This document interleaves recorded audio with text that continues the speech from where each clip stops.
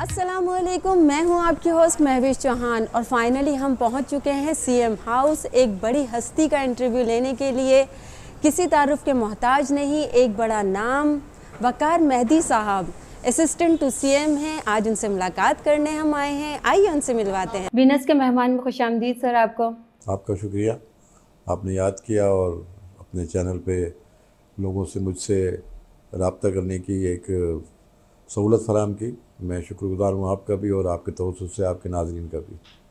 बहुत शुक्रगुजार हूँ कि आपने इतनी मसरूफियत में से हमारे लिए टाइम निकाला। सर एजुकेशन कहाँ से कंप्लीट की थी आपने? मैंने यहाँ सब कराची का ही है। कराची से पढ़ा कराची के स्कूलों में कॉलेजों में यहीं से तालीम हासिल की यहीं मजदूरी की मशक्क़त की नौकरी की और सियासत भी यहीं कराची शहर से शुरू की पैदाइश भी कराची शहर की है। सब कुछ कराची शहर का है यहीं इसी मिट्टी से पैदा हुए हैं इसी सुंदरती के शहर कराची शहर से। तो सब कुछ कराची का और कराची को आँख खोल के कराची देखा है। इसलिए कराची शहर की हर गली से हर कूचे से हर महल्ले से मोहब्बत भी है और जान पहचान भी है। और अल्लाह शुक्र है कि कराची शहर की हर गलियाँ और हर रास्ते और इलाके पता भी हैं। और यहाँ की तमाम रहने वाली कम्युनिटी से भी वाकफियत है जान पहचान भी है दोस्ती भी है ताल्लुक़ भी हैं। हमारे पार्टी पूरे शहर कराची में है और वैसे तो पूरे मुल्क में है। तो उस हवाले से भी रबता रहता है सिविल सोसाइटी से भी रबता रहता है। आम लोगों से भी रोज़ाना तकरीबन समझे कि रोज़ाना ये आप कहें तो आठ दस दर्जन लोग तो मिलते ही रहते हैं रोज़ाना दफ्तर में भी और बाहर भी। तो रबता रहता है तकरीबन रोज़ाना। सौ डेढ़ सौ दो सौ लोगों के साथ इंटरेक्शन रहता है मसाइल के हवाले से काम के हवाले से सियासी लिहाज से तंजीमी लिहाज से। तो लोगों से तो बिल्कुल क्योंकि सियासत तो ऐसी चीज़ है ना कि वो जैसे मछली की मिसाल देते हैं ना कि मछली पानी के बगैर नहीं रह सकती तो हम लोग आवाम से रबते के बगैर नहीं रह सकते। आवाम से रबता रखे हुए बगैर रह नहीं सकते। सही। तो हम क्योंकि सियासत ही करते हैं लोगों के लिए हम्म। लोगों की खिदमत के लिए और सियासत को मैं तो इबादत की का दर्जा देता हूँ इसलिए कि वो सियासत ही बेकार है जो आवाम के लिए ना हो। सही। सियासत को लोगों ने एक मज़ाक बना दिया है सियासत को लोगों ने एक गलत रंग दे दिया है। इसकी सियासत देखें बहुत सारे लोग समाजी काम भी करते हैं। जी। लेकिन जो समाजी काम करते हैं वो हुकूमत में नहीं आ सकते या पार्लियामेंट में नहीं जा सकते। लेकिन सियासी जद्दोजहद के नतीजे में आप पार्लियामेंट में जाके लोगों की आवाज़ बनते हैं लोगों के मसाइल पे बात करते हैं जाके और उनकी नुमाइंदगी करते हैं। तो मैंने ये देखा कि मैं आपको अर्ज़ करूँ कि मैं पाकिस्तान पीपल्स पार्टी में तो मैं पैदाइशी पीपल्स पार्टी वाला हूँ। जी सियासत कब ज्वाइन की सर आप? मैं बता रहा हूँ वही आपको कि मेरे वालिद मरहूम जो थे वो पीपल्स पार्टी के फाउंडर मेंबर थे। जी। और जब मैंने होश संभाला तो मैंने सियासी माहौल ही घर में देखा। ठीक। फैमिली में से कौन कौन है आपके साथ मैं तो अभी तो मैं ही हूँ वैसे अच्छा, तो अच्छा, फाल।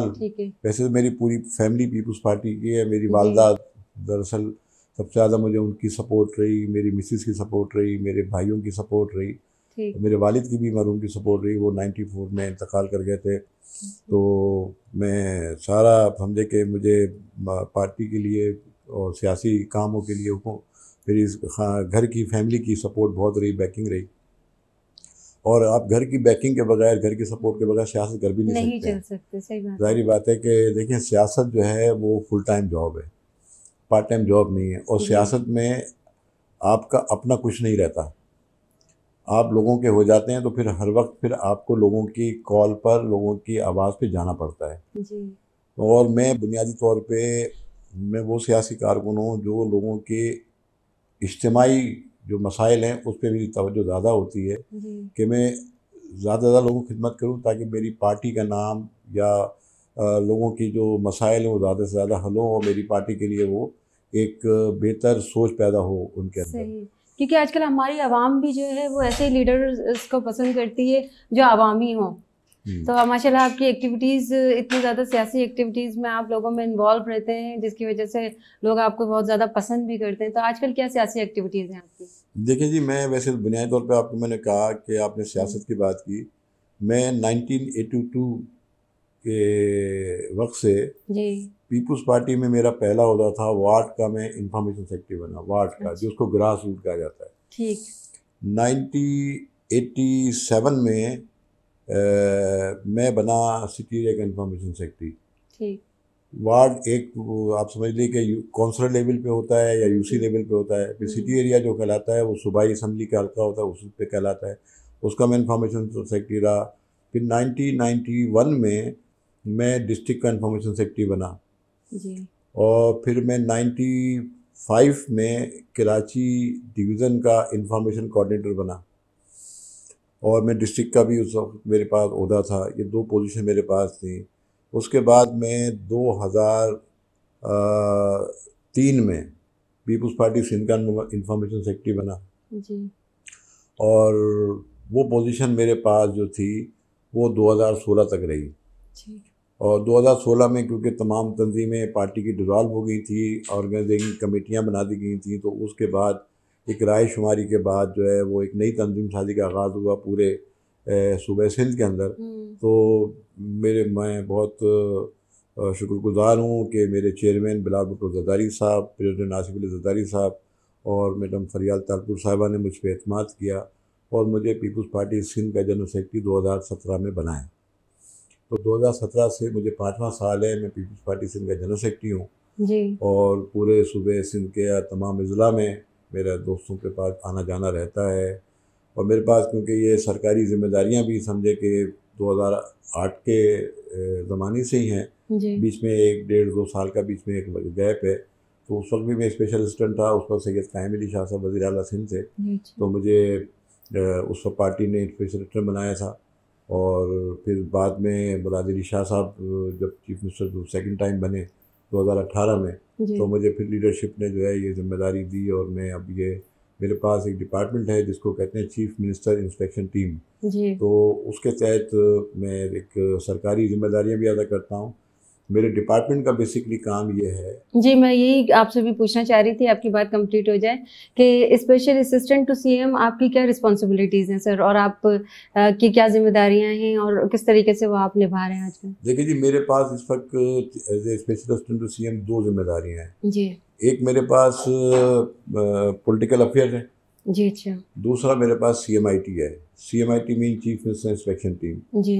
अच्छा चीफ मिनिस्टर इंस्पेक्शन टीम का काम यह है कि एनुअल डेवलपमेंट प्रोग्राम के तहत जो हम स्कीमें मुख्तलिफ़ अज़ला में जो हैं वो ज़ेर तमीर होती हैं ऑन गोइंग होती हैं उनकी इंस्पेक्शन करना जी। और वहाँ पे अगर किसी किस्म की कोई शिकायत आ रही है तो चीफ मिनिस्टर सिंध की हिदायत पे वहाँ जाके उसकी इंक्वायरी करना।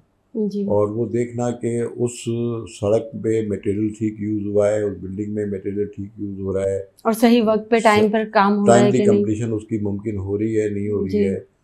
तो इस तरीके से हमारा काम ये है। हमारा दूसरा ये भी ज़िम्मेदारी के मुख्तु इदारों में जाके वहाँ पे इंस्पेक्शन करने के बाद वहाँ की सफ़ाई वहाँ अटेंडर मुलाजमी के अटेंडेंस भी चेक करना। जी। और इस तरीके से ये जिम्मेदारियाँ उस डिपार्टमेंट की होती हैं।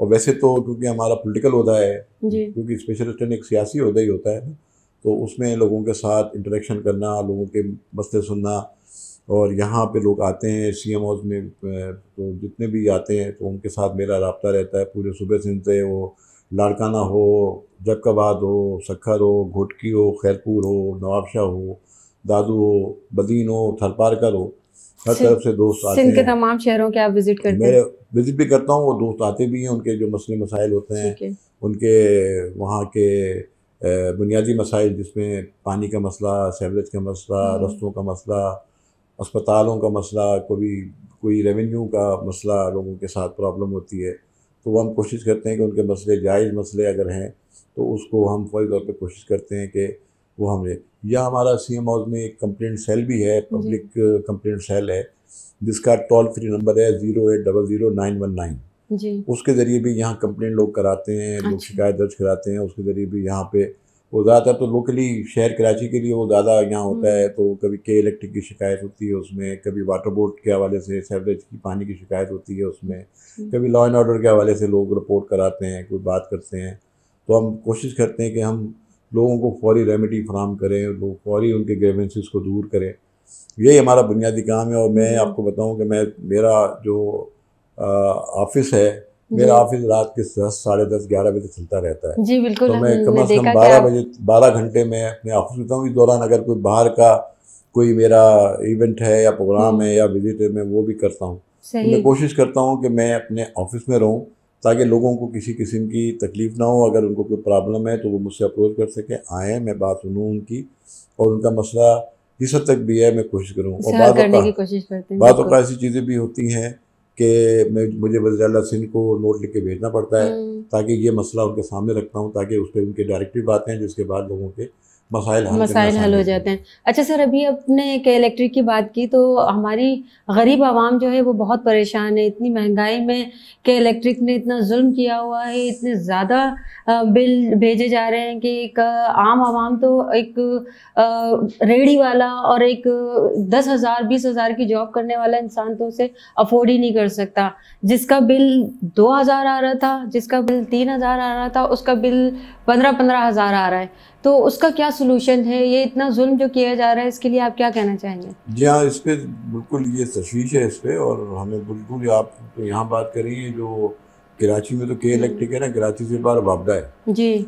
वहाँ भी प्रॉब्लम है वहाँ भी बिलों की जो रेटिंग है या रेट्स हैं या हम्म। उनके बिलिंग की जो एक अमाउंट आ रही है वो भी बहुत हैवी हो रही है। लेकिन हुकूमत ने एक तो कहा था कि 200 यूनिट और 300 यूनिट के बाद वो होता है। तो इसमें है क्योंकि के इलेक्ट्रिक से हमारा पहले भी इख्तलाफ और एहतजाज उनके हम्म। सामने रहा है कि वो गैस पे बिजली ज़्यादा बनाते हैं और हम्म। फन साइल वो यूज़ नहीं करते हैं। और हम तो शुरू से ही कहते हैं मैं आपको अर्ज़ करूँगा पाकिस्तान पीस पार्टी के कराची इलेक्ट्रिक सप्लाई कॉरपोरेशन की निजकारी के ख़िलाफ़ थी हमने बहुत एहतजाज किया। लेकिन इसको आवाम का भी बहुत एहतजाज चल रहा है जी जी। आप ये देखें मैं आपको बताऊँ अगर मेरे नाजरीन जो दो हज़ार दो से पहले के इलेक्ट्रिक के सी को की बिजली यूज़ करते थे शायद इतनी प्रॉब्लम नहीं होती थी क्योंकि हम्म। वो गवर्नमेंट के उस फंक्शनिंग में आता था और वो प्राइवेटाइज नहीं था और हुकूमत पाकिस्तान और हुकूमत सिंध उसको मॉनिटर भी करती थी। लेकिन उसको प्राइवेटाइज किया गया और अब उनकी मनमानियाँ उसमें चलती हैं। हमें कई दफ़ा उनके साथ इजलास भी किए हैं और लोड बिजली तो अपनी जगह जी। बिजली भी नहीं आती और बिल भी आ जाता है बड़ा। बिल भी आ जाता है। इतनी लोड लोड शेडिंग तो- के दो दो तीन तीन दफ़ा दो दो घंटे के लिए तीन तीन घंटे लीजिए आपको मैं सोलह सोलह घंटे लाइट नहीं है कराची शहर में।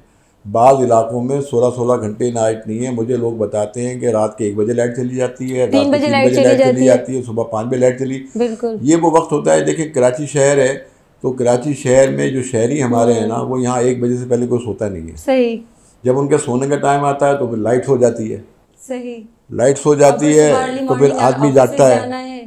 सही है ना? तो देखें गरीब आदमी मेहनत मजदूरी करके आता है उसको एक चारपाई पे सुकून से नींद चाहिए लेकिन नींद तो नहीं आती मच्छर काट जाते हैं उसको। यहाँ कराची शहर के जो हमारे शहरी हैं वो एक बजे तक तकरीबन यहाँ वो जाते हैं सोने के लिए अपने अपने बिस्तर पे। तो एक बजे के बाद लाइट जाना शुरू हो जाती है। तो इस शहर में सोलह सोलह घंटे चौदह चौदह घंटे की लोड शेडिंग है। हमने उनसे गुजारिश अच्छा दूसरी के इलेक्ट्रिक ने नया काम शुरू किया है कि जिस इलाके की बिलिंग नहीं होती वो पीएमटी उतार के ले जाते हैं। अब मैं मैंने बिजली का बिल पे नहीं किया तो आपका क्या कसूर है भाई? जी बिल्कुल। आप उसका मीटर उतार के ले जाइए उसकी बिजली काट दीजिए। आप ये क्यों करते हैं? मैं उनसे कहा मैंने कहा जिस इलाके की बिलिंग 80 परसेंट है हम्म। 20 परसेंट के चक्कर में आप उनकी पीएमटी उतार देते हैं। अब एक ज़माना था ना वो ग्रिप निकाल के ले जाते थे। बिजली बंद हो जाती थी। ठीक है ना? हम्म। अब मैंने कहा जितना आप बिल बढ़ाएँगे ना चोरियाँ बढ़ जाएँगी। हाँ बिल्कुल। कुंडा बढ़ जाएगा। सही बात है। ठीक है ना? देखिए बात यह है कि ये जो जराइम हो जाते हैं ना शुरू क्रिमिनल एक्टिविटी शुरू हो जाती है वो उसकी एक वजह बेरोज़गारी भी होती है। महँगाई भी आपको हर रू हर चीज़ का एक रूट काज है। हर चीज़ का एक मोटिव है। हर चीज़ का एक मोटिव होता है। चाहे वो क्रिमिनल साइड पे हो चाहे वो सामाजिक साइड पे हो हर चीज़ का एक मोटिव होता है ना। तो हमें कम से कम हमारी कहूँ और मैं आपको बात बताऊँ कि आपको याद होगा कि जब फेडरल गवर्नमेंट ने पेट्रोल की कीमतें बढ़ा दी थी ना बीस रुपये एकदम से तो आसिफ जरदारी साहब ने उस पर सख्त नाराज़गी का इजहार किया था। आसिफ जरदारी साहब ने कि इत्यादि हुकूमत के मशवरे ने हुकूमत ने बगैर मशवरे के ये कर दिया। क्योंकि देखिए जी हम आवाम के लिए सियासत करते हैं आवाम को ज़्यादा से ज़्यादा रिलीफ फराम करने की सियासत के लिए सियासत करते हैं। और मैं कहता हूँ देखिए ना कोई मैं एक, एक, एक अर्ज़ करूँ एक मिसाल देता हूँ कि आप अपने घर का एक निज़ाम चलाते हैं ना और आप कोशिश करते हैं कि सब बैलेंस रहे। जी। आप नहीं चाहते कि घर में कोई लड़ाई झगड़ा हो किसी के साथ नाइंसाफ़ी हो। आपकी कोशिश यही होती है ना अगर एक बाप की शक्ल में या एक माँ की शक्ल में। तो हुकूमत जो होती है वो भी एक माँ की शक्ल होती है। हम्म। तो उनकी सरपरस्ती में सब हो रहा होता है में होता है। तो हमारी कोशिश यही होती होनी चाहिए कि हम आवाम को इतना रिलीफ फराम कर सकें, वो फराम करें। लेकिन इसका एक दूसरा पहलू भी है। दूसरा पहलू ये है कि आपने देखा कि इमरान खान साहब के दौर में, जो साढ़े तीन साल दौर था, वो लोगों को सख्त बार दिखा के आए थे। डेढ़, एक करोड़ नौकरी, पचास लाख घरों का वादा किया उन्होंने। और पता नहीं ये कहा कि नौजवानों को कर्ज दे रहे हैं, ये दे रहे हैं, वो दे रहे हैं। मैंने कई दोस्तों से मिला, कई लोगों से मिला, आम लोगों से मिला। मैंने पूछा, भाई, कोई कर्ज मिला आपको? कोई कारोबार शुरू किया आपने? कोई नौकरी मिली है आपको कोई फेडरल गवर्नमेंट की नौकरी मिली है आपको किसी को पंजाब हुकूमत ने नौकरी दी किसी को पख्तूनख्वा हुकूमत ने नौकरी दी क्योंकि उनकी हुकूमतें वहाँ थी। लेकिन मुझे पख्तूनख्वा से भी दोस्तों ने कहा कि उनको भी कोई मुलाजमत नहीं मिली। मुझे पंजाब में भी उनके बोजदार साहब की हुकूमत रही उसमें भी कोई नौकरी नहीं मिली। फेडरल गवर्नमेंट साढ़े तीन साल तीन साल उनकी रही उसमें भी उनको किसी इदारे में नौकरी नहीं मिली। नौकरी मिली तो किसको मिली? हुआ उल्टा ये कि लोगों को बेरोज़गार ज़रूर किया गया। पाकिस्तान स्टील से लोग निकाल दिए पी से लोग निकाल दिए सुई सटन गैस से लोग निकाल दिए। बहुत से फेडरल जो एडमिनिस्ट्रेटिव इदारे थे उससे लोग निकाल दिए। लोगों को निकाला ज़रूर उन्होंने लेकिन लोगों को मुलाजमत दे दी। लेकिन आप ये बात दुनिया मानती है इस बात को कि पाकिस्तान पीपल्स पार्टी हुकूमत जब भी आती है उसने रोज़गार दिया है रोज़गार छीना नहीं है। ये बात पीपल्स पार्टी के क्रेडिट पर है। बिल्कुल। अच्छा पीटीआई की हुकूमत आप सिंध में कैसे देखते हैं? और पीटीआई का सिंध में क्या फ्यूचर देखते हैं? आप? देखिए जी पीटीआई का तो कोई फ्यूचर नहीं है। आप चली जाइए। उनके दो एम पी हमारे मौजूद मेंबर बने थे सिंध असम्बली के। असलम अबड़ो साहब और घोटके शर साहब वो दोनों को छोड़ के पीपल्स पार्टी उन्होंने ज्वाइन कर ली थी। पीटीआई का कोई मुस्तकबिल यहाँ नहीं है। पीटीआई को पीटीआई आपको यहाँ नज़र भी नहीं आती। कराची शहर में वो एक ज़रूर है। और कराची शहर में उनको जिस तरह लाया गया आ, वो सबके सामने है। मुझे तो कई उनके एमपी ऐसे कुछ भी मिले जिनने कहा जी हम तो सो गए थे घर में हमें तो उठा के बताया गया तुम जीत गए हो। उनको खुद को यकीन नहीं था कि हम जीत रहे हैं। ठीक है ना? और हमने तो उस इलेक्शन पे बहुत रिजर्वेशन रखी थी और एमक्यूम को भी बड़ी रिजर्वेशन थी लेकिन एमक्यूम पीछे हट गई उस रिजर्वेशन से। वो 2018 में जो उन्होंने धांधली का चार्जेस लगाए थे वो धांधली के चार्जेस से वो विड्रॉ गए क्योंकि वो चार सीटें ले सके। एम एन ए की। शायद उनको मिली थी यहाँ से और दो शायद उनको मिली थी हैदराबाद से। ठीक है आने वाले इलेक्शन में आप कैसा देखते हैं? लाड़काना डिवीज़न सखर डिवीज़न सक सही बेनज़रबाद डिवीज़न और मीपुखार डिवीज़न में। इन चार डिवीज़न में पाकिस्तान पीपुल्स पार्टी के उम्मीदवारों ने 90 परसेंट स्वीप किया है। 90 परसेंट इन चार डिवीज़न में पीपुल्स पार्टी के कैंडिडेट ने स्वीप किया है। ठीक है ना? और ये दो डिवीज़न में इलेक्शन बाकी थे जो कि ये सैलाब और बारिश की तबाहकारी के बायस ये अभी मुलतवी हो गए जो पिछले 28 अगस्त को होने थे। जी। जब भी ये इलेक्शन होंगे क्योंकि जब भी सैलाब की सूरत हाल बेहतर होगी क्योंकि अभी तो ये इलेक्शन फ़िलहाल तो मुनद होते नज़र नहीं आते क्योंकि सारे स्कूल और सारे कॉलेज मुतासरीन से मुतासरीन से भरे हुए हैं भरे हुए हैं और डिस्प्लेस हैं अब तो कौन कहाँ वोट डालेगा?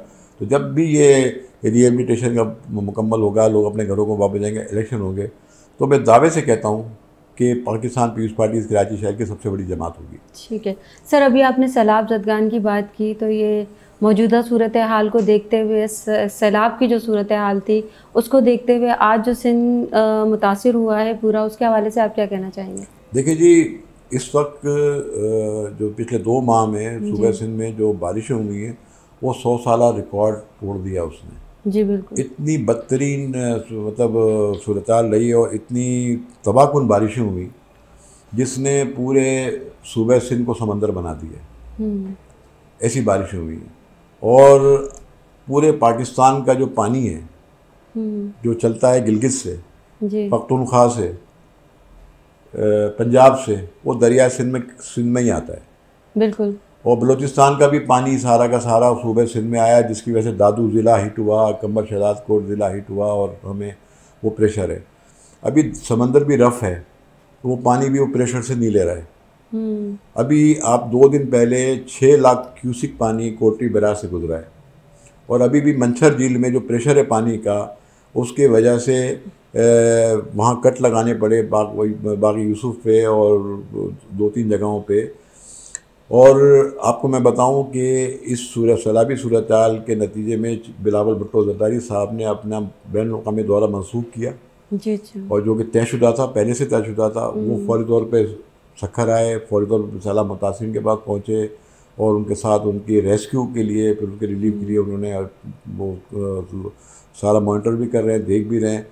और वज़ीर अल सिंध भी पहले दिन से वो हाउस में नहीं बैठे हैं। कभी कभी आते हैं कोई सरकारी इजलास के लिए वो पहले दिन से फ़ील्ड के अंदर है। उन्हें तमाम अजला का खुद जाके दौरा किया है। ज़मीनी रास्तों से भी गए हैं फ़जाई दौरा भी उन्होंने किया है। उन्होंने सेवन को बचाने के लिए अपनी ज़मीन पे कट लगवा के पानी छुड़वा दिया अपनी ज़मीनें पानी में डुबो दी लेकिन लोगों को बचाया उन्होंने। ठीक है। सिंध गवर्नमेंट इस सूरत हाल के हवाले से क्या इकदाम कर रही है अब? देखिए जी हमने पहले मरले में जो काम होता है इसमें वो रेस्क्यू का काम होता है। हमने रेस्क्यू का काम किया है। काफ़ी हद तक और उसमें हमारे साथ साथ जो है वो एन में भी शरीक रही है फेडरल गवर्नमेंट का भी ताउन रहा है फेडरल गवर्नमेंट ने भी हमें अपनी पंद्रह अरब रुपए की ग्रांट दी है उन्होंने। और इसके साथ साथ हमारे साथ फलाई इदारे जिसमें बैतुलसलाम ट्रस्ट है दावत इस्लामी है सलानी ट्रस्ट है जेडीसी वाले हैं और दीगर फलाई इदारे वो भी हमारे साथ ऑन बोर्ड हैं। कोई स्कूल कोई मुतासर का कैंप किसी फलाई इदारे ने लिया है कोई हमारे कोई गवर्नमेंट देख रही है कोई दूसरे फलाई इदारे देख रहे हैं। और हम बहुत शुक्रगुजार हैं कराची शहर के मुखर हजरात का उन तमाम लोगों का कि जिन्होंने अपने मुतासर भाइयों का मुसीबत ज़दा भाइयों के मदद के लिए वक्त में साथ दिया उनका साथ दिया है उनका और उन्होंने आज तक और अभी तक हम्म। जैसे सिलसिला चल रहा है। पाकिस्तान पीपल्स पार्टी के भी इमदादी कैम्प लगे हैं दूसरी सियासी जमातों के और मैंने तो पहले भी एक वीडियो पैगाम में अपील की थी कि ये सियासत का वक्त नहीं है। बिल्कुल ऐसे सिचुएशन में सियासत ना की जाए ये मिलकर लोगों को रिलीफ पहुँचाने का वक्त है उनकी मदद उनकी करने मदद करने का वक्त है। मैं आपको एक और अर्ज़ करूँ कि इमरान खान साहब तो जलसे कर रहे हैं। और मैं आपको बताऊँ ऑन रिकॉर्ड आप किसी सियासी जमात से पूछिएगा एक जलसा जो होता है ना जिसमें दस से पंद्रह हज़ार कुर्सियाँ लगती हैं वो जलसा किसी डेकोरेशन वाले से रेट ले लीजिएगा, जाके किसी इवेंट मैनेजमेंट वाले से रेट ले डेढ़ करोड़ रुपये लगता है एक जलसे के मुनद करने पे। हम ये डेढ़ करोड़ रुपये अगर मुतासर के लिए, आप अपने हाथ से दे दें भाई, आप हमें ना दें, आप जाके खुद ही मदद कर दें। अभी इमरान खान साहब शक्कर आए थे, क्या ले आए थे? अभी शक्कर तशीफ लाए थे थोड़ी थोड़ी सी देर के लिए। तो वो आपने देखा, एक फ़ोटो सेशन हुआ, एक चावल की डिश टेबल पर रखी और वो चले गए। जहाँ लोगों ने ये भी बातें की कि जी, अब आए वो आप। बात ये है कि हमने सारी सियासी सरगर्मियाँ मअतल की हुई हैं हमारी।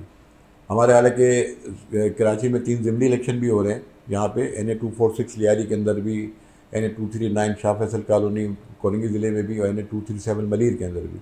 लेकिन वो भी लोकली हम चला रहे हैं उसको, समझे ना? लेकिन इमरान खान साहब भरपूर जलसे भी कर रहे हैं और वो लगे हुए भी हैं और ये कोई मतलब मैं नहीं समझता कि इन हालात में जबकि बलूचिस्तान तबाह हो गया है पख्तूनख्वा में अलग जो सूरत आपने देखा पैदा हुई है और सूबे सिंध के अंदर जो और पंजाब के भी चार पाँच अजला तो बरारास्त मुतासर है इसके अंदर।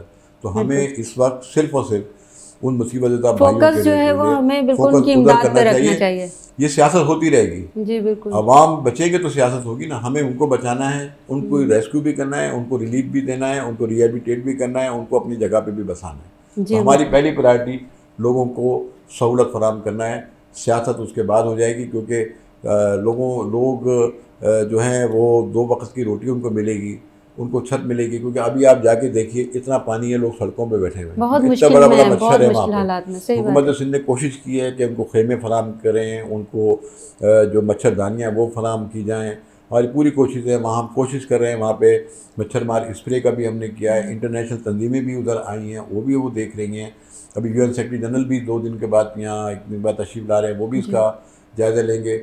और बिलावल भुट्टो जदाई साहब ने जो तमाम लोगों से बात की थी वो भी एक आपको मालूम है एक बहुत बड़ा उसमें जो है लोगों ने उसमें शेयर किया है। और मैं ये समझता हूँ कि सिंध में जो नुकसान हुआ है अब हम्म। तक अब तक के मुताबिक आगे पता नहीं कितना उसमें होता है अब तक पंद्रह सौ अरब रुपए का लॉस है ये। जी बिल्कुल। फ़सल ख़त्म हो गई। हम्म। सारी की सारी। और ये फ़सल अगले तीन से चार महीने नहीं होगी। हाँ। इसलिए कि पानी उतरेगा साल भी लग सकता है, उससे ज़्यादा टाइम। ज़मीन खुश्क होगी तो उसके बाद अनाज लगेगा। अभी कपास की और चावल की फ़सल नहीं होगी इस वक्त। ठीक है ना? क्योंकि हमारा जरी मुल्क है और सूबे सिंध के अंदर भी तकरीबन सत्तर फ़ीसद अस्सी फ़ीसद तो ज़रूरी अराजी है मजमूई सूबे सिंध की। और तमाम लोग काश्तकारी करते हैं यहाँ पे। तो अभी ये सूरत जो है वो ये रहेगी। और हुकूमत सिंध मुकम्मल कोशिश कर रही है, उसने अपने डेवलपमेंट पर भी बजट भी उधर डाइवर्ट कर दिया है। हम पूरी तवज्जो हमारी जो है रिलीफ है चीफ मिनिस्टर किसी दिन भी कराची में नहीं बैठे, रोज़ाना वो किसी न किसी ज़िले में जाते हैं। कल आए थे, फिर वो आज चले गए रात को। तो उनको बहुत तशवीश है, बहुत फ़िक्र है। इस वक्त हमारी पूरी कोशिश ये है किस तरह से लोगों को रेस्क्यू करें और पानी जो है वो, उसको हम डिवाटर कर सकें ताकि लोगों को हम जो है एक जो है कोई ऐसी जगह फराम करें जहाँ वो सुकून से बैठ के अपना ये जो वक्त है वक्त ये गुजार सके सुकून से। घरों को जाएँ। बिल्कुल अभी आपने सर हमें बताया कि सीएम साहब एक दिन भी नहीं बैठे उन्होंने फ़िज़ाई दौरे भी किए ज़मीनी दौरे भी किए और जाके लोगों के अंदर उनके हालात भी मालूम किए और उनके रिलीफ के लिए उनकी इमदाद के लिए बहुत सारे इकदाम किए। उसके बारे में हमें बताएँ। देखिए जी जिस दिन से ये सूरत पैदा हुई है सिंध में ये सैलाबी रेला आया है और ये तमाम अज़ला और आपको मालूम है कि खैरपुर के अंदर तो नौ दिन लगातार बारिश हुई। जी जी। पूरा खैरपुर जो है वो नेशनल हाईवे से लेके और तजल तक जो है वो पूरा दरिया बन गया वहाँ पे। जी। तो वज़ीर अला सिंह पहले दिन से जिस दिन से ये सूरत पैदा वो पहले दिन से ऑन बोर्ड हैं ऑन रोड हैं और उन्होंने एक मिनट भी जो है ना किसी मतलब शायद वो दिन में खाना खाते ही नहीं खाते हैं किस वक्त लेकिन वो अपने लोगों की रिलीफ के लिए रेस्क्यू के लिए परेशान है। उन्होंने, इस दौरान उन्होंने जहाँ जहाँ जा सकते थे, उन्होंने ज़मीनी गाड़ी में भी दौरे किए हैं, लोगों में गए हैं, फ़ज़ाई दौरे भी किए हैं उन्होंने। प्राइम मिनिस्टर आए थे बिलावल भुट्टो जरदारी साहब, उनके, उनको भी ये फ़ज़ाई दौरे, फ़ज़ाई जायज़ा उन्होंने लिया जाके और दिखाया कि जी ये क्या क्या सूरत हाल हो रही है यहाँ पे। ठीक है ना? इस वक्त कमर शदाद कोर्ट में, लाड़काना में, दादू में, दादू ज़िले में पूरे, जामशुरो ज़िले में पूरे खैरपुर ज़िले में पूरे ये मीरपुर ख़ास में क्योंकि सांगड़ ज़िला ख़ास तौर पे और सांगड़ से पानी गुजर के मीरपुर ख़ास से जाता है वहाँ बहुत ज़्यादा इस वक्त पानी का प्रेशर है फिर वो जाता है आगे बदीन के रास्ते समंदर के अंदर। तो इस वक्त सूरत ये है कि वज़ीर सिंध पिछला समझिए कि पूरा तकरीबन महीना होने जा रहा है कि वो मुसलसल मुसलसल जो है वो लोगों से रबते में और एक बात मैं आपको और बता दूँ कि आसिफ अली जरदारी साहब भी मिनट मिनट की खैर खबर हर ताल्लुका में, हर यूसी में, हर ज़िले में ख़ुद वो रबता करते हैं, मॉनिटर करते हैं। लोगों के लिए जो है वो रिलीफ के लिए सामान और जो भेजते हैं, भिजवाते हैं, मॉनिटर करते हैं, हर जगह।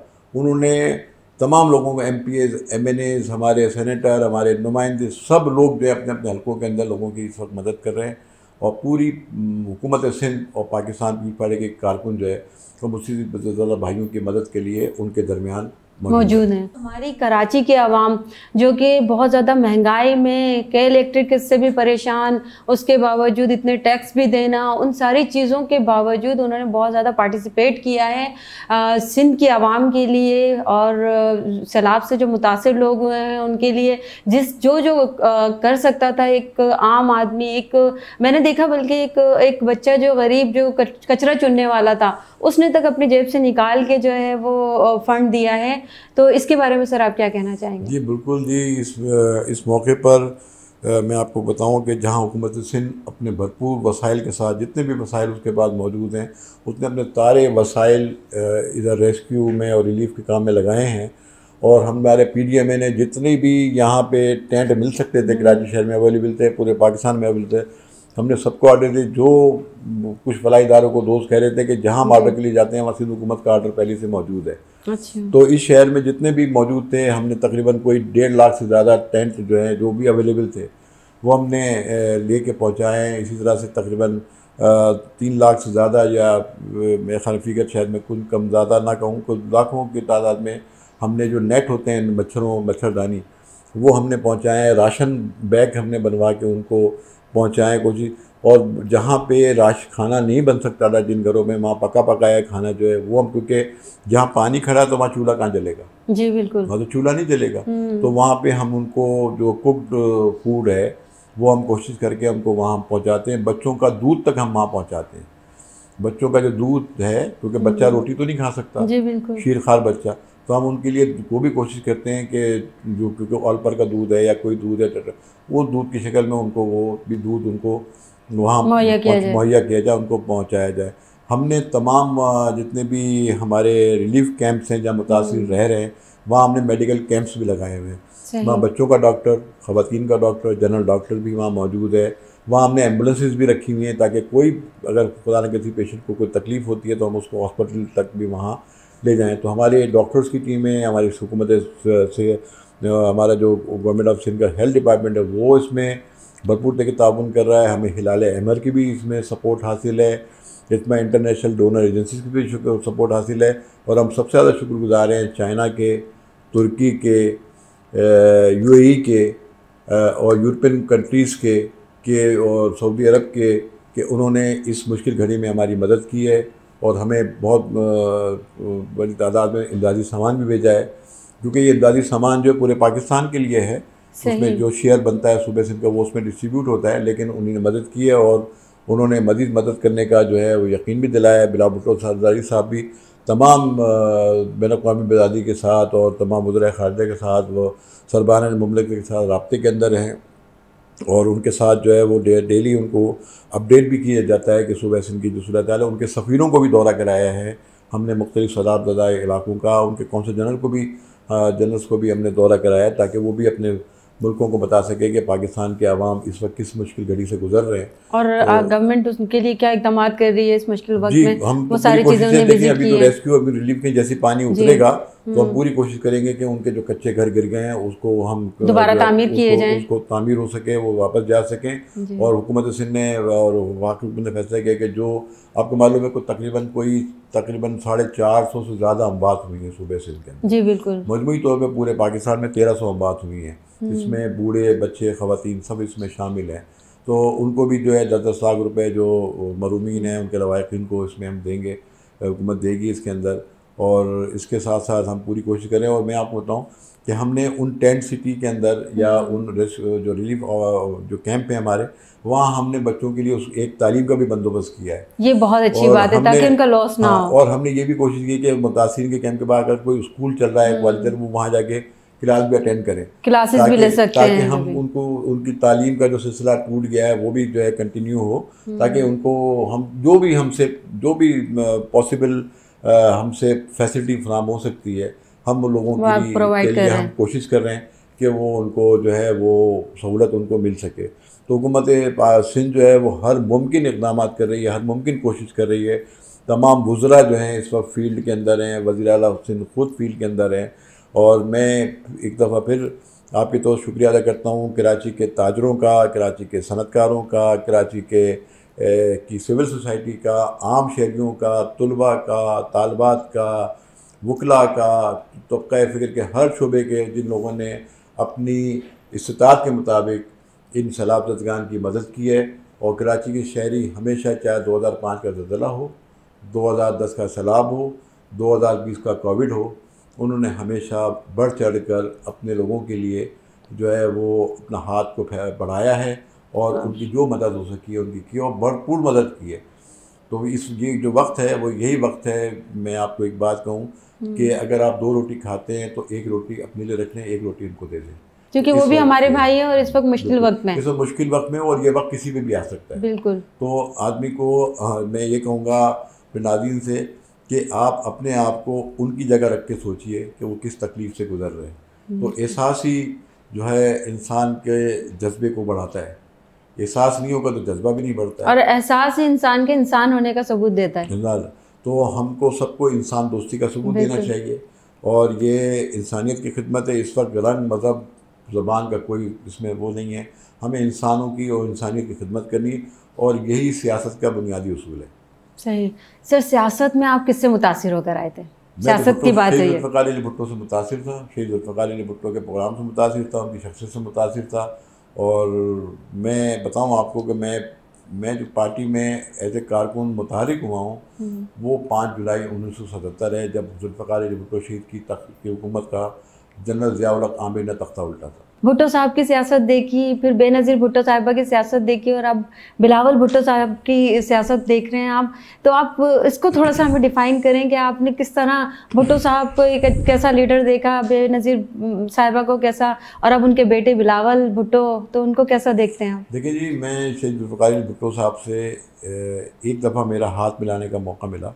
अच्छा। वो जब रिहा होने के बाद ट्रेन के ज़रिए कराची आ रहे थे तो उनको कैंट स्टेशन पर रुकना था तो हुकूमत ने गाड़ी कैंट पे नहीं रोकी क्योंकि रश बहुत था तो सिटी स्टेशन ले गए थे फिर वहाँ से गाड़ी बिठा के उनको सत्तर किलोमीटर जब सत्तर किलोमीटर पहुँचे तो मुझे आज तक याद है कि क्रीम कलर का शलवार कमीज़ वो पहने थे।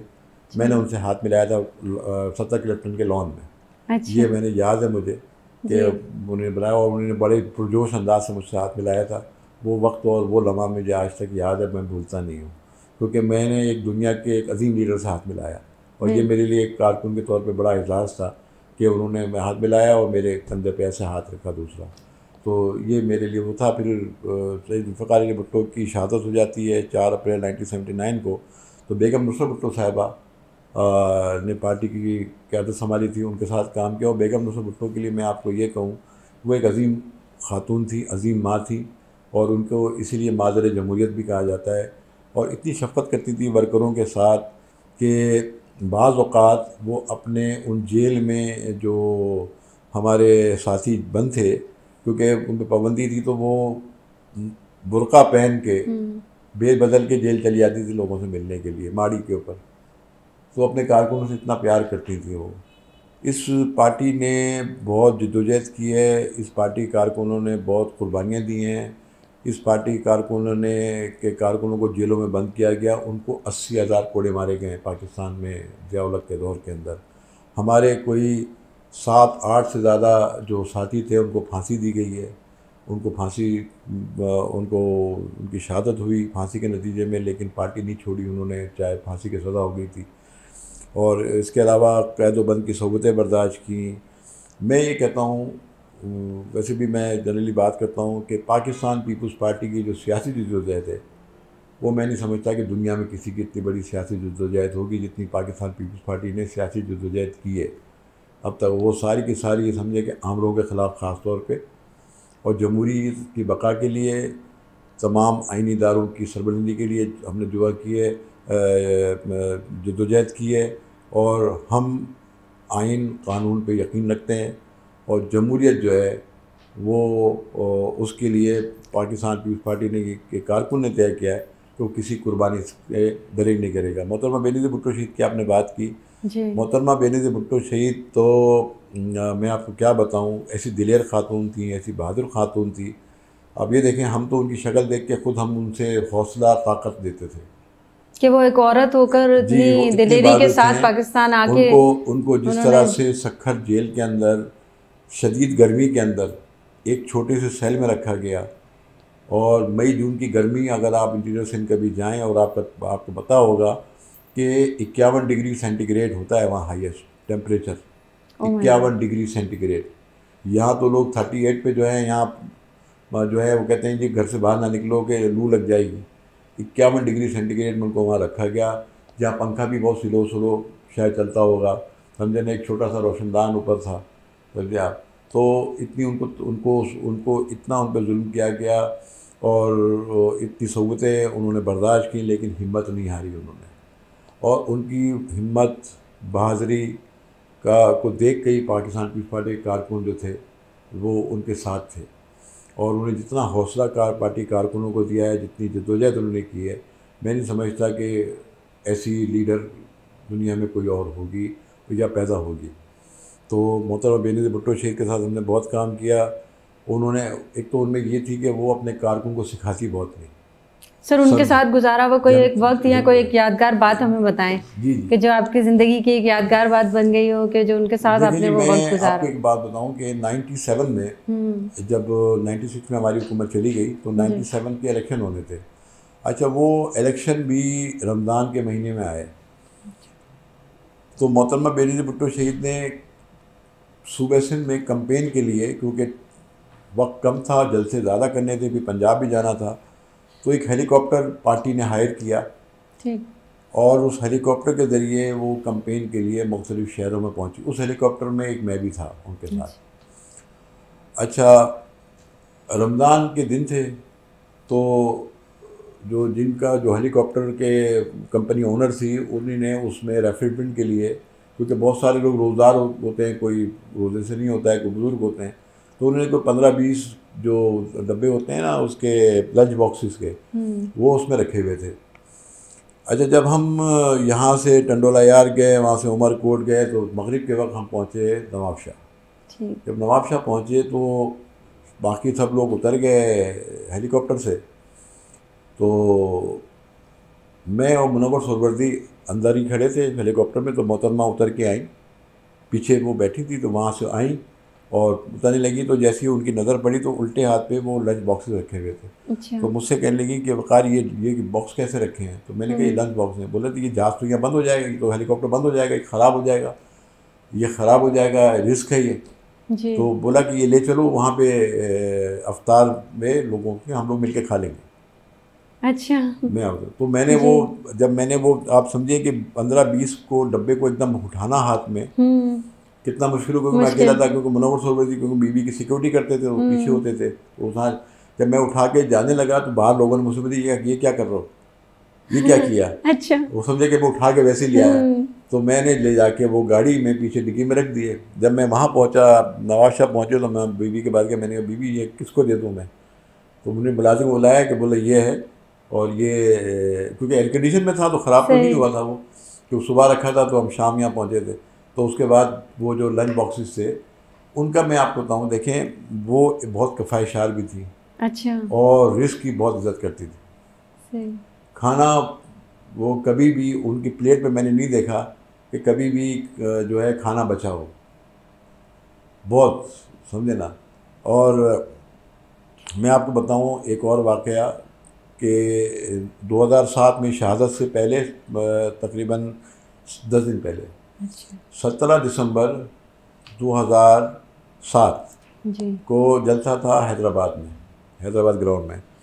तो जलसा ख़त्म होने के बाद हम एक पार्टी के हमारे सीनियर थे तो बीबी उनके घर में गई ये जेल रोड हैदराबाद में के पास ही घर था उनका अली नवाज़ शाह साहब। उनके घर गई। वहाँ गई तो दोपहर का वक्त था तो खाने की टेबल पे सब बैठे थे। सही मैं शुगुफ्ता जुमानी और शायद फ़रदुल्ला बाबर शायद मेरे ख्याल में। हम तीन खड़े थे जगह नहीं थी। अच्छा। हम इधर खड़े थे मोहतरमा जैसे ये टेबल है तो मोहतरमा वहाँ बैठी थी हम इधर खड़े थे। जी। तो उन्होंने देखा कि भाई ये लोग खाना नहीं खा रहे हैं। अच्छा। मैं आप बताऊँ वो खाना नहीं खा रहे हैं। तो उन्होंने अपने हाथ से प्लेट उठाई एक मुझे। दी एक अजीम को दी और एक शब उनको दी फरदुल्ला बाबर को। और ख़ुद ही डिश उठा के दी। अच्छा। भिंडी की शायद वो जो सूखी भिंडी होती है ना। बनती है फ्राई वो डिश उठा के दी रोटी दी सबको हमको। जब हम लोगों ने ले लिया फिर खाना उन्होंने निकाला अपने लिए। तो इस किस्म की प्यार करने वाली मोहब्बत करने वाली ख्याल करने रखने वाली वाली लीडर। वो वो लीडर थी समझे ना? मैं एक और वाक्य आपको सुनाऊँ कि इसी दौरान जब हम टंडोला यार में एक दोस्त के घर गए वो नाम मेरा मुनासिब नहीं है। तो वहाँ पे उन्होंने देखा कि उनके दोस्त दोस्त जो साथी थे सीनियर थे वो वहाँ नहीं थे। जी। तो वो कहाँ चले गए? थोड़ी सी नाराज़गी उनकी हो गई। हम्म, तो मोहतरमा ने बोला कहाँ चले गए? तो मैंने मुझसे पूछा मैंने कहा जी वो उधर दूसरी तरफ़ है। बोला क्यों है? तो किसी ने उनको कहा वो वहाँ से उठ उड़ गई। बोला मैं यहाँ नहीं रहूँगी। रात के एक बजे वो चली गई मीरपुर खास। अच्छा। हाँ रात को एक बजे मीरपुर खास चली गई वहाँ से टंडवाला यार्ड से। और वहाँ मीरपुर जा- खास जाने के बाद उन्होंने कायमली शाह साहब को बुलाया उन बोला कि इनको पहले सुलाना हम्म, फिर तुम जाके सोना। जी। मैं आपको सिर्फ़ ये बताने को बता रहा हूँ कि वो वो सबका ख्याल करती थी। अगर आप उनके साथ हैं तो पूछेंगी कि आप आप आपको कहीं इनका ठिकाना हो गया इनको आराम से लिटा दिया सुला दिया या बैठने की उठने की जगह ठीक है इनकी। इतना वो ख्याल करती थी। आप ये देखें कि दुनिया की सियासत वो, खा- करती थी बीवी लेकिन कितना ख्याल करती थी। ये मैं आपको सिर्फ़ उनकी हम्म, वो बता रहा हूँ कि कितना लोगों के साथ उनका प्यार और मोहब्बत थी। कौन पूछता है आज? सही बात है। समझे ना कौन पूछता है? और मैं आपको इसी तरह से बताऊँ इसी तरीके से आज आसिफ अली जरदारी साहब हैं बिलाल भुट्टो जरदारी साहब हैं वो इसी तरीके से ख्याल करते हैं अपने कारकुनों का। बहुत ख्याल करते हैं। मैं बिलावल साहब चेयरमैन साहब के साथ काम करता हूँ बहुत इज़्ज़त देते हैं और मेरे लीडर हैं और मुझे बड़ा फ़ख्र है अपने लीडर पे चेयरमैन पे कि अभी जब हम लॉन्ग मार्च में जा रहे थे तो इसी तरह से मुझसे कहते थे कि देखो भाई का ख्याल रखना। वो मुझसे भी कहते थे आपने कुछ खाया?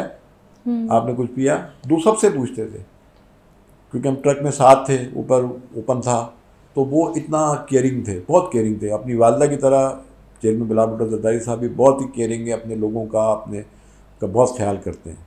लेकिन डिसिप्लिन की पाबंदी को थोड़ा सा वो करते हैं कि पार्टी में डिसिप्लिन थोड़ा रहना चाहिए नर्वोत रहना चाहिए इस तरीके से।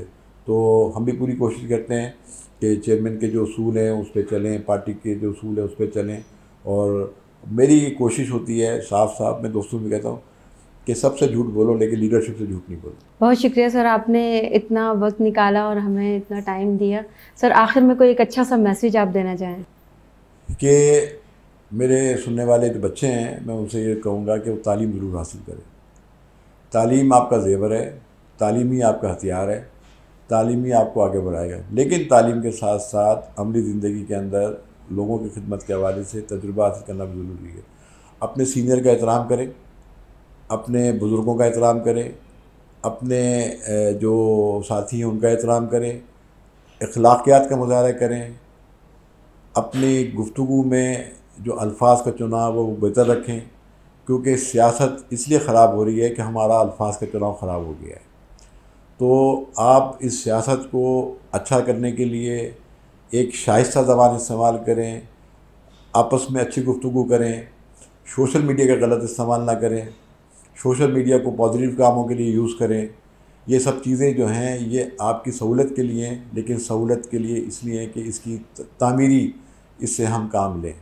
तो मैं अपने बच्चों को एक तो ये पैगाम देना चाहता हूँ और जनरली मैं लोगों से कहना चाहता हूँ कि सियासी कल्चर को परवान चढ़ाएँ, लोगों की खिदमत को अपना शार बनाएँ, पाकिस्तान की खिदमत करें, मुल्क की यकजहती के लिए, एहतियात के लिए काम करें, इदारों को ना लड़ाने वाली सियासत करें जो इदारा है वो अपनी आइनी रूप में काम कर रहा है और काम करना चाहिए उसको। हमारा जो फ़र्ज़ है हमें पाकिस्तान ने बहुत कुछ दिया है हमें ये सोचना चाहिए कि हम अपने मुल्क को क्या दे सकते हैं। Thank you so much sir इतनी मसरूफियत में से आपने हमारे लिए टाइम निकाला इसके लिए बेहद शुक्रगुजार हूँ। थैंक यू आपका भी शुक्रिया। इसके साथ ही महविश चौहान को दीजिए इजाज़त इस अपनेपन के साथ कि अपना और अपनों का बहुत ज़्यादा ख्याल रखेंगे। नए प्रोग्राम में नए मेहमान के साथ हाजिर होंगे। देखते रहिए वीनस के मेहमान, मैं चौहान के साथ।